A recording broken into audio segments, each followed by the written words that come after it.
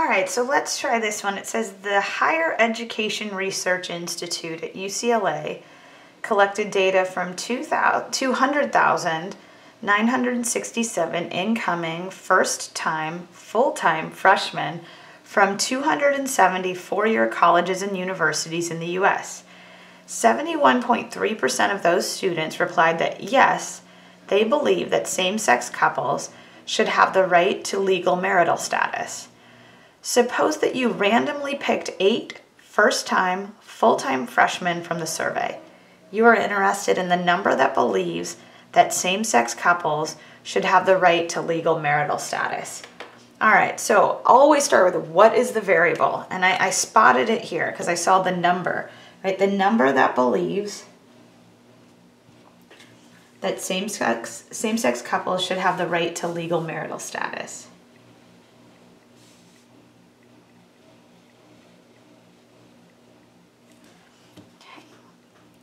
Now this is always inside of your random sample and be careful here because sometimes you'll think I had a sample this large. No, right? It says suppose that you randomly pick eight students. So I only have eight students in this in this case. So X is the number of students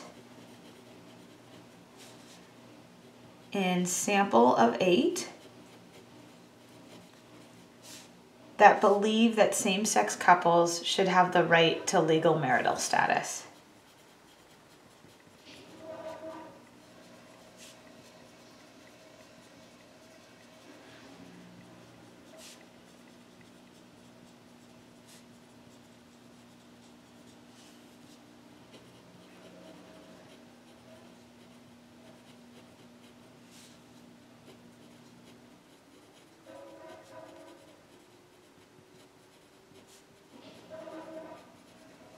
Okay, that's a lot to write in there, but we're, we're gonna talk to eight folks, see how they feel about this. Now, is X discrete or continuous? Well, I would count the number of students in my sample that were for same-sex marriage, um, but I'm not gonna measure it, so it's definitely discrete. What values can X take on?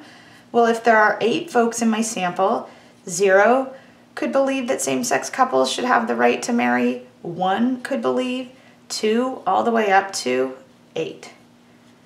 Right?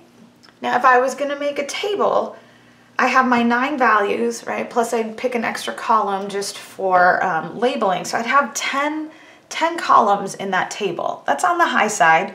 It's not impossible, but that's still a lot to do. So again, I'm gonna say to myself, well, is this binomial? Because if I can make this binomial, or not make it, if I realize it's binomial, then I get all of these shortcuts, right? I don't have to make a table. I can just use that symbol.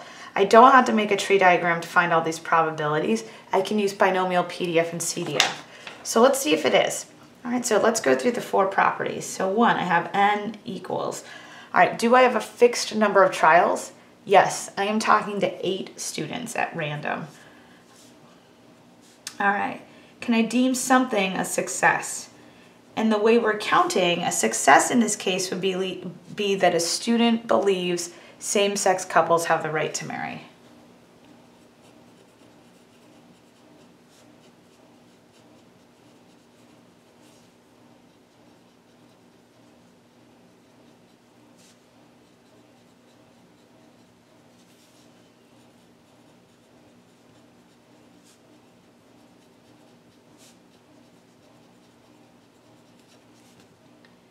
All right, are trials independent of one another?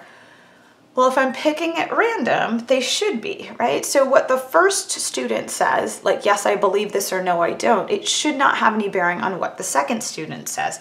So I'm gonna make the leap that trials are independent. All right, for probability of success, they told me that from that population, about 71.3% believed that students had, uh, that same-sex couples had the right to legal marital status. So I'll have here, and I'm actually, I'm gonna erase this and just put it off to the side because I'm getting things a little too scrunched up. Let me just put option four over here.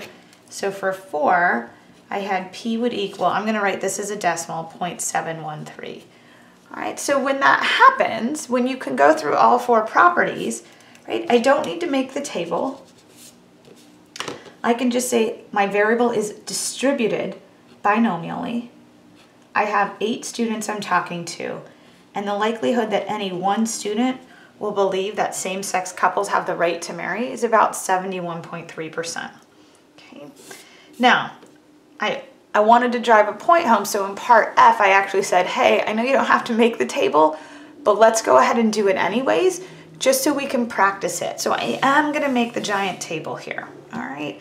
So I'm gonna need nine columns. Well, actually, I'm gonna need 10 columns because I have nine values of my variable and I need a labeling column.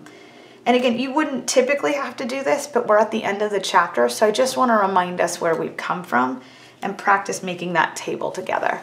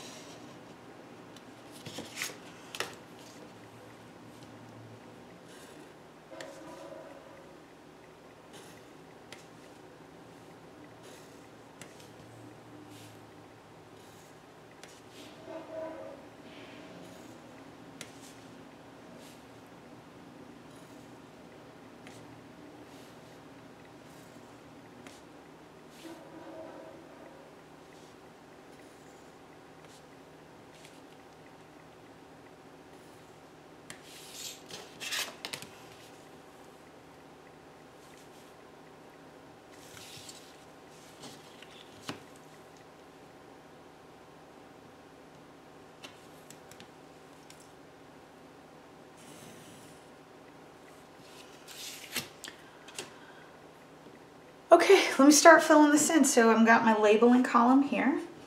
And then we got zero, one, two, three, four, five, six, seven, and finally eight. Whew, okay.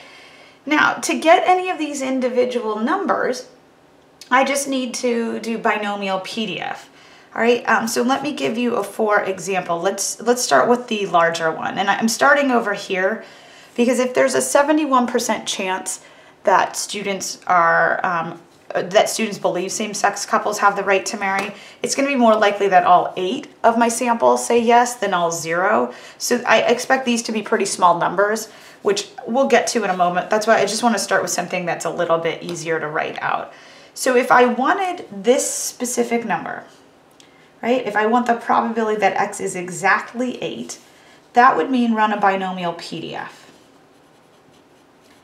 And here we would go 10, nope, not 10, excuse me, 8. There were only 8 students in our sample, 8.713, and then 8 again. All right, so let's see what that number gives me.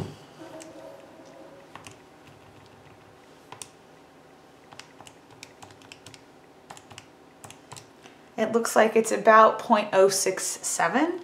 So let me go ahead and write that down. This would have been 0.067. Okay. Um, if I wanted to do it for seven, I could rerun that command, but oops, excuse me, change the last number to seven. And you can see that's about 0.215. And I don't want to rerun this command each time. I want to be efficient. So what I'm going to do is I'm going to run this through my lists. Now, if we look in here, I've got some old data. Let me clear all of that out. And then like always, I'm going to put my values of my variable in my list, in my L1, excuse me. And when I get those in there, then I'm gonna go up into the definition of L2. So L2 has the black background and I'm gonna use my lists like a spreadsheet. So I would like my calculator to do the binomial PDF All right, we had eight students. The chance of success for any one student was 0.713. And I would like my calculator to do every value in L1 and populate L2. Oops, let me write L1 in here, excuse me. So when I hit enter, this is gonna populate. So let's see what we got. All sorts of stuff. Now, we gotta be careful here. Remember I said these were gonna be really small numbers. Oh, I'm sorry, let me point to it. These first few were gonna be really, really small because if 71% of your population is for same-sex marriage and you talk to eight people, it's gonna be pretty unlikely that you get zero people in that random sample. So while this is 4.6, you gotta think, well, every probability is a number between zero and one. And you can see the e to the negative five here. So we wanna be real specific that this is really 0.000046. So let me write this in, and I gotta be real tiny. I gotta do it diagonal. Oh, oh, oh. How many was it? Oh, there's another zero, four, six. All right, so if it's e to the negative five, I actually have four zeros out in front of this, this first digit of four. Here, I had e to the negative four, so I need three zeros out in front of nine, so that's gonna be 0.00091.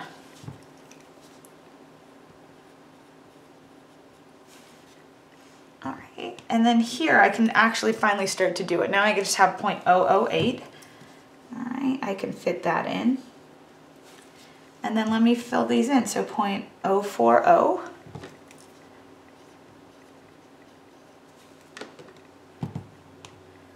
Point one two three.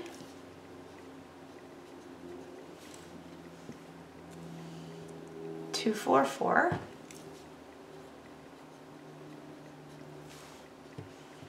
And what's the last one we need to fill in? 303. And I'll, I'll put 303, but you can see our, our two other values, right? There's 215 and there's 067. But we'll put in point 303. All right, and just like always, these would sum to one if I was going to do this. We, um, we talked about how you don't have to have a PDF in table form. You could also do it in a histogram form, but we haven't done it in a little while. So just to review that concept, if I go into my stat plots, I'm actually still ready to go because I haven't done a stat plot since I made that histogram for us way back in example two.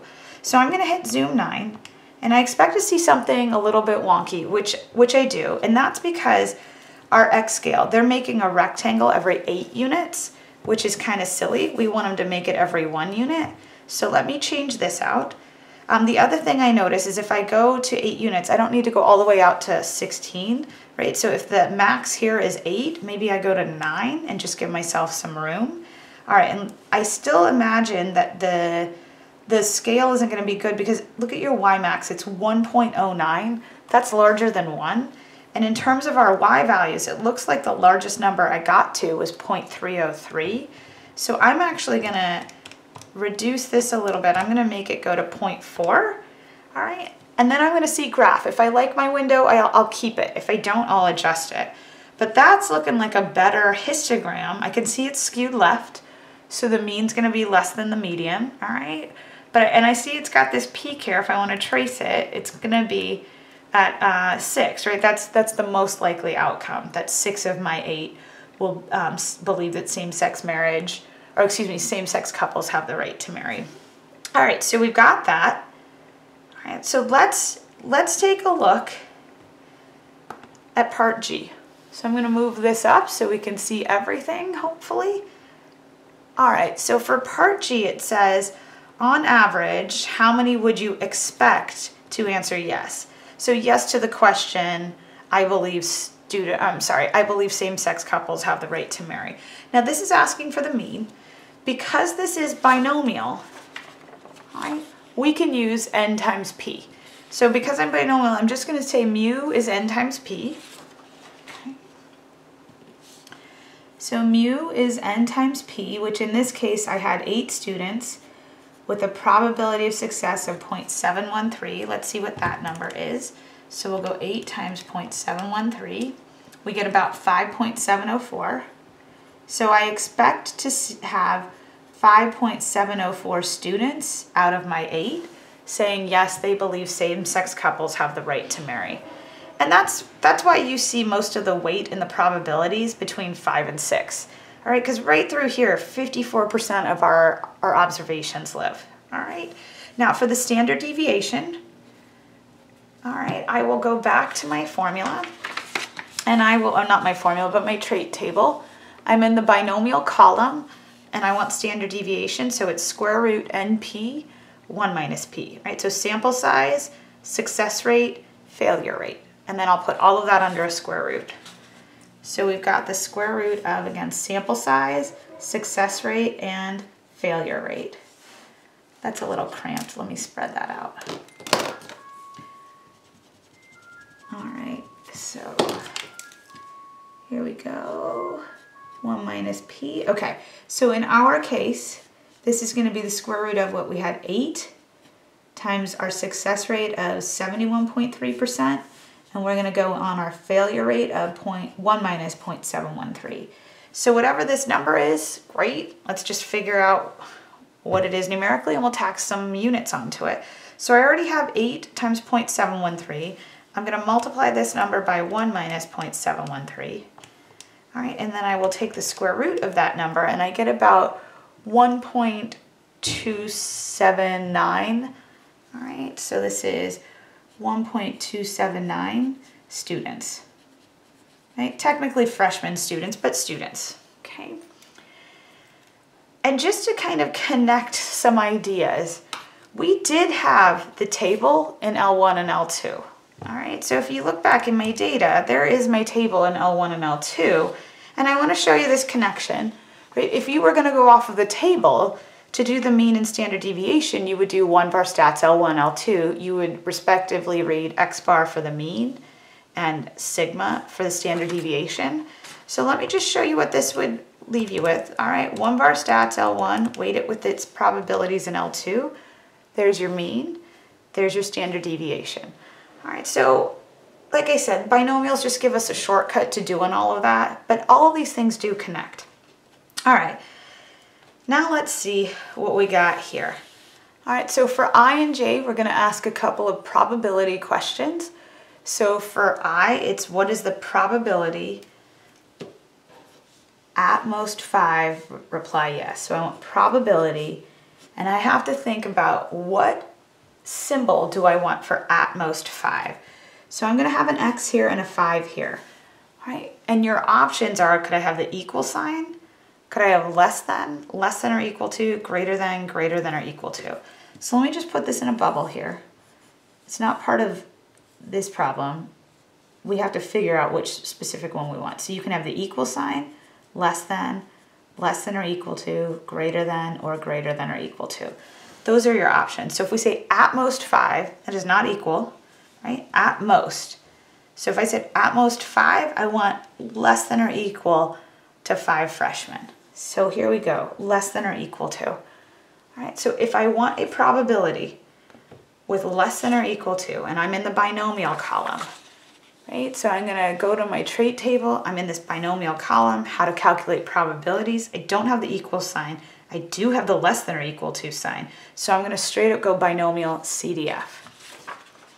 So we're gonna say this is binomial CDF of, we had eight students, 71.3% chance of success, and we wanted five or fewer, right? Or at most five.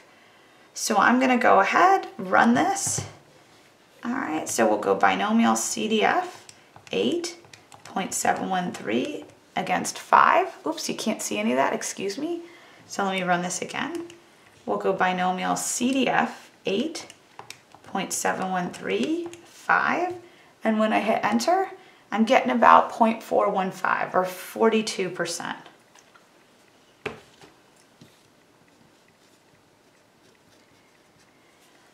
Now, if you wanted to for this one, let me just move the paper down so our table's back in it. If I wanted x being less than or equal to 5, all right, that would have included 0, 1, 2, 3, 4, and 5.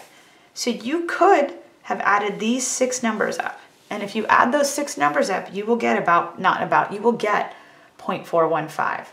All right, so you could add six PDFs together but I think it's much more efficient to just use the CDF version.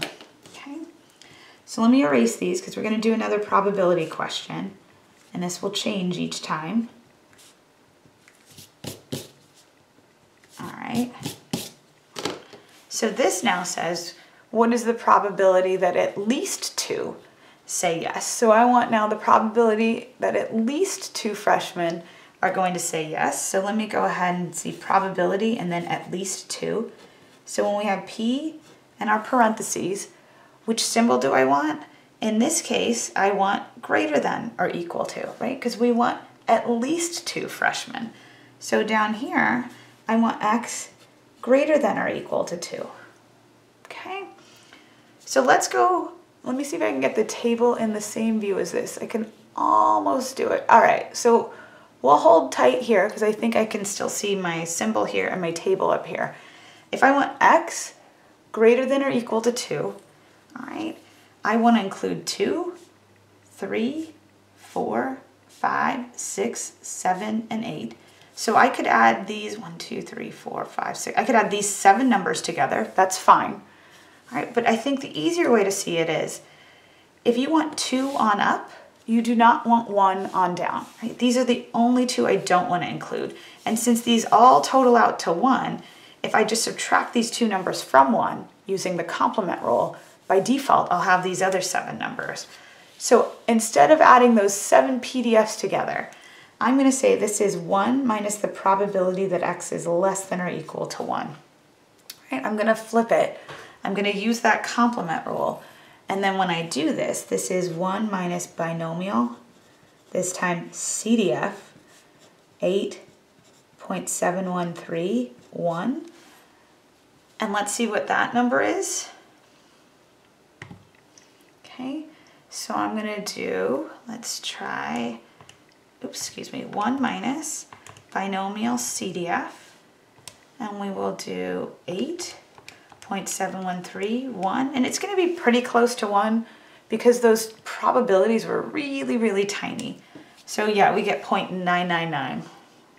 Okay. So what's the likelihood that if you talk to eight people, at least two will believe same-sex married, same-sex couples should be married? It's practically one. It happens 999 times out of a thousand. All right, gang, that's a wrap on chapter four. I'll see you in a few. Bye.